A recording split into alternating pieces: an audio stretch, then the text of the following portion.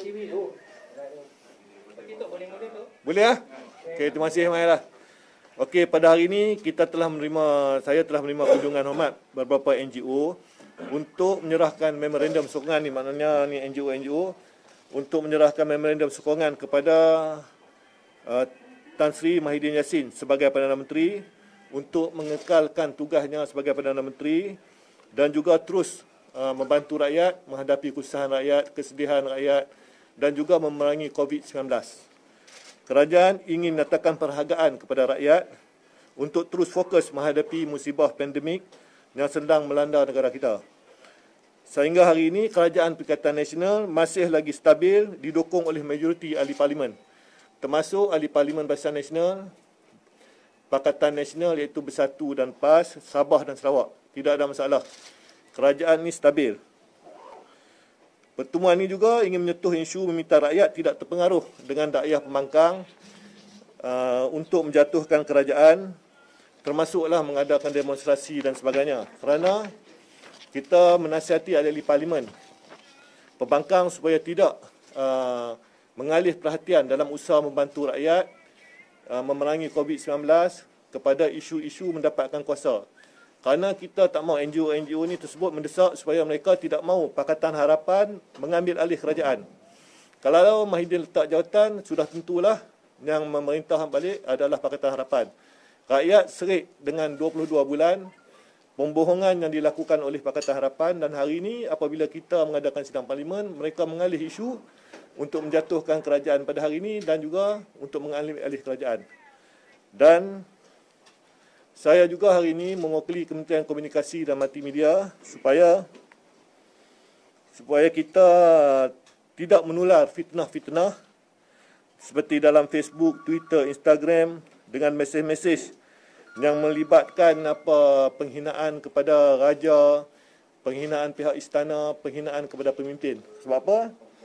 Kita mendapat ni SMS saya ada bukti ni termasuk ahli-ahli parlimen mengeluarkan dokumen-dokumen palsu istana Lepas tu mengadakan surat-surat palsu oleh konco-konco pembangkang ni mengadakan surat-surat palsu.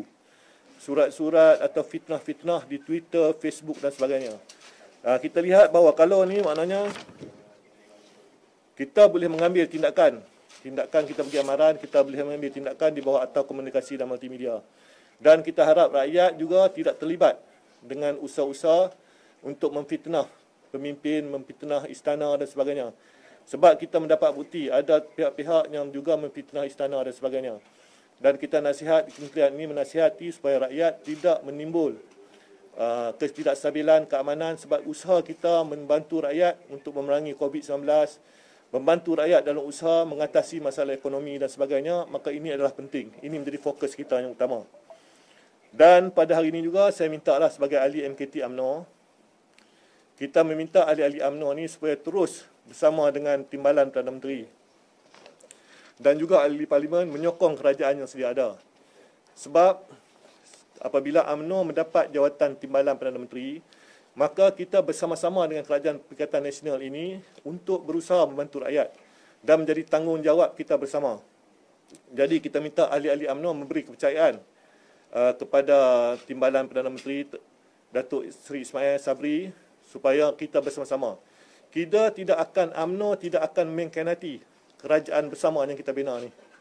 Jadi kita tidak mahu amno ni dalam keadaan badai dan ribut bahtera kita ni kita tebuk lubang kapal kita. Jadi kita tak nak amno ni sejarah mengkhianati kerajaan yang kita tubuh pada hari ini. Dan juga saranan saranan uh, timbalan saranan Presiden AMNO supaya menyokong Pakatan Nasional tetapi tidak menyokong Tan Sri Mahidin Yassin. Tidak praktikal. Kerana kalau kita bersama bersatu tapi tak sokong Presiden bersatu, ini tidak praktikal. Kita sokong PAS tapi tak sokong jadi, juga tidak praktikal. Ha, tapi kalau lah Presiden AMNO nak amal dalam AMNO, boleh cuba. Sokong AMNO tapi tak sokong Presiden AMNO.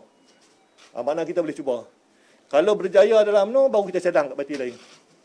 Ha? ha itu. Jadi selain dari itu saya percayalah maknanya kita dapat bekerjasama untuk mengatasi COVID-19 ni sebab kes sudah mencatatkan kes positif hampir sejuta kes positif dan 200 ribu kes aktif dan lebih 9 ribu kematian. Maka ini cukup penting untuk kita bersatu dan kita menyelesaikan masalah COVID ini. Kerajaan PN juga akan terus fokus uh, kepada tanggungjawab kita untuk rakyat dan negara mengembalikan plan pemulihan negara yang diumumkan Perdana Menteri untuk kita keluar daripada cengkaman pandemik ini dan juga untuk kita keluar daripada masalah ekonomi yang kita hadapi. Terima kasih. Ada apa soalan?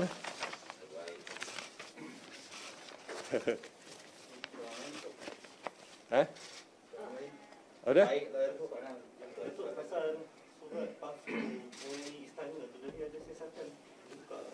Tak kita sekarang ni kita kalau boleh mana Ustaz ya? Ya? Ha? Dah ada report polis. Okey okey dah ada report polis semua. Malam, malam saya Cuma- report.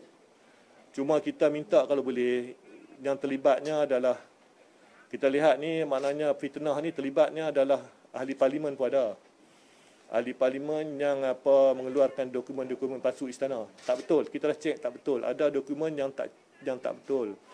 Dan juga koncu-koncu politik ada yang menyebut bahawa Mahidin letak-letak jawatan. Ada apa page-page uh, memfitnah pemimpin letak jawatan. Ini termasuk dalam istilah kita nak menggugatkan kestabilan negara kita. Lepas tu ada juga WhatsApp dalam Facebook menghina raja. Ha, jadi benda-benda ni semua kita kita harap bahawa kita tak nak ambil tindakan lah dalam keadaan ambil kesempatan ni. Tetapi kalau terpaksa maka kita kena ambil tindak- tindakan juga lah. Sebab di luar negara ni, kebanyakan negara ni kalau kita hina pemimpin tertentu ataupun pihak istana, contohnya di UK dia block sebulan. Dia block sebulan. Dan ambil tindakan dia block face. Uh, maknanya WhatsApp ataupun semana dia block sebulan. Tapi di Malaysia ni kita terbuka. Tapi janganlah sikap terbuka kerajaan ni, kementerian ni. Maka dia ambil kesempatan dalam mengugatkan masalah ekonomi. Sebab kita negara kita ni menghadapi krisis ekonomi oleh sebab pandemik. Kita menghadapi masalah kesedihan rakyat. Masalah ekonomi orang tak ada, orang tak bekerja. Masalah ada yang kurang mendapat bekalan dan sebagainya, makanan dan sebagainya orang yang susah. Jadi makna kalaulah kita terus uh, apa kita yang senang ni kita terus menghadap mencipta masalah, kita terus mencipta apa ketidakstabilan, maka kita terpaksa ambil tindakan lah. Kan? Ni saya ni ada ada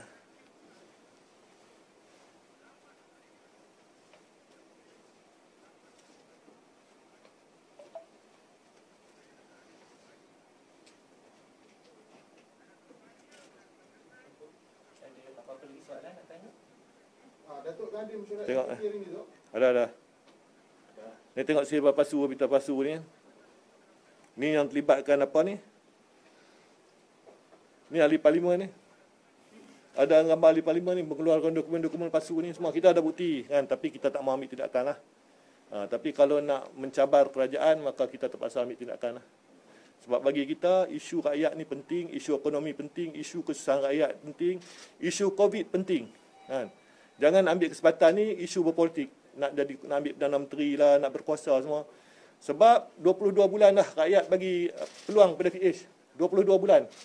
Maka mereka tak berjaya. Hari ini kita pun telah banyak membantu rakyat. Kita banyak membantu keluar prihatin lah, macam-macam program yang kita tu dan kita hanya menghabiskan bilion, duit bilion untuk membantu rakyat. Jadi kita teruskan program kita. Sabar. Lepas COVID, kita buat pilihan raya. Ha, jadi makna kita bagi rakyat pilih. Siapa rakyat nak merintah, nak, nak, nak pilih. Okey lah, terima kasih lah. Datuk, malam ada meeting uh, antara ahli parlimen BN dengan PM. Datuk ada kali tu dengan uh, Ismail Sari dekat dekat. Tak, kita bukan meeting, kita ahli parlimen, kita ada kita ada kita ada perjumpaan. Dia agung yang di-Pertuan Agung dan Yang Mulia Menteri Agung akan melihat, maknanya ingin melihat uh, sokongan. Maknanya pendakwaan pembangkang ni Tan Sri Mahidin dah hilang sokongan. Jadi maknanya kita Barisan Nasional, kita berkumpul, kita lihat berapa sokongan. Maknanya kita hantar SD kita. Dan kita hantar 40 sokongan, kita tak masalah. 40 sokongan telah kita hantar.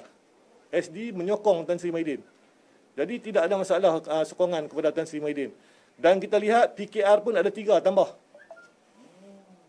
PKR tiga tambahan untuk menyokong Tan Sri Maidin. Bukan kita berkurang, tambah. Daripada UMNO, Barisan Nasional. 40. Kan? Itu yang melepaskan Datuk yang minggu ni kata tak ada tanda, tangan ST apa-apa ST. Cuma tanda tangan untuk sokong kerajaan PN. Ah, sokong PN lah. Tanda tangan menyokong kerajaan PN. 40. Dan kita tengah negotiate lagi dua. Kan? Nak sokong tak sokong. Kan? Ah, tapi satu dah keluar lah maknanya Tengku Razali memang keluar lah. Ah, yang itu tak dapat. Jadi kita negotiate lagi. Jadi maknanya 40 kita dapat ada 40. Yang tiga tadi Datuk. Tiga tadi PKR tambah. Ada PKR melompat dan tambah. Saya tak tahu apa tapi nak maklumatnya tiga PKR tambah. Termasuklah Xavier dan sebagainya lah. Kan? Ah, jadi lompat lah maksudnya. dah sokong sokong kerajaan PN. Lompat daripada PKR sokong kerajaan. Sokong PN. Tak nak? Tambahan. Jadi kita tambahan. Tak ada kekurangan. Kurang hanyalah satu dua ya. Mungkin apa. Tapi kita tengah berbincang lah kalau boleh Presiden UMNO menyokong lah. Sebab apa? Kita seperti kata. Kita ni kerajaan bersama. Kerajaan yang kita dapat timbalan Perdana Menteri. Kan? Perdana Menteri dan timbalan adalah daripada UMNO timbalan. Mana Perdana Menteri parti apa bersatu. So kita berpakat. Ha?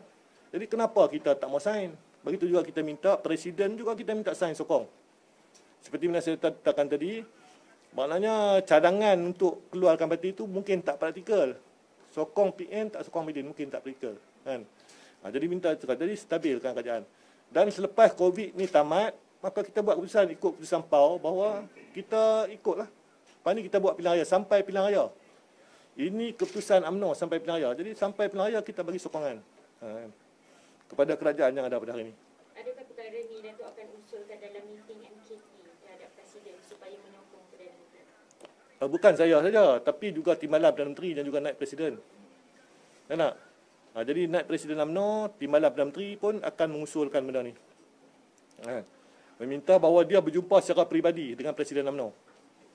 Ha, supaya semua kita UMNO memberi sokongan kepada kerajaan yang ada pada hari ini. Dan kita kena ingat, Barisan Nasional tidak pernah menghadapi pilihan raya sebagai pembangkang. Kan? Tidak pernah menghadapi pilihan raya sebagai pembangkang. Kalaulah Barisan Nasional nak menghadapi pilihan raya sebagai pembangkang, maka kita rasa bahawa ini satu pengalaman baru dan kita takut kalah. Itu saja kan. Lebih baik menghadapi pilihan raya sebagai kerajaan daripada menghadapi pilihan raya sebagai bangkang. Ini pendapat kita.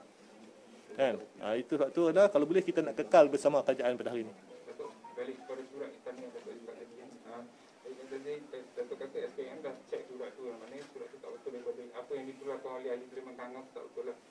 Ah tak betul. Ada yang yang yang yang hantar yang mula-mula dalam parlimen tu ada betul lah. Maknanya raja ah, yang di yang memulia duka cita tapi ada surat-surat ke belakang ni ada yang tak betul ditambah-tambah. Ha, kita dah cek ada yang tak betul kan. Jadi ha, kita harap rakyat tak terpengaruh lah kan. Lebih baik tumpukan kepada menyelesaikan masalah negara ni kan.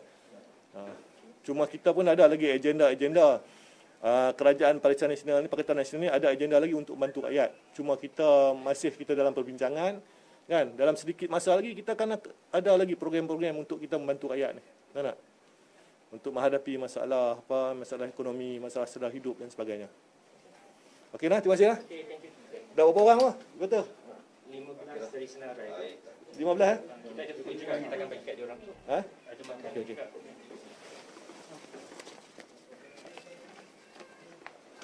Bagi kat saya lah. Lagi ambil bajet kat saya. Kita ada food eh. Ada food. Tak food. Eh, tak jap tau. Dah balik. Selamat.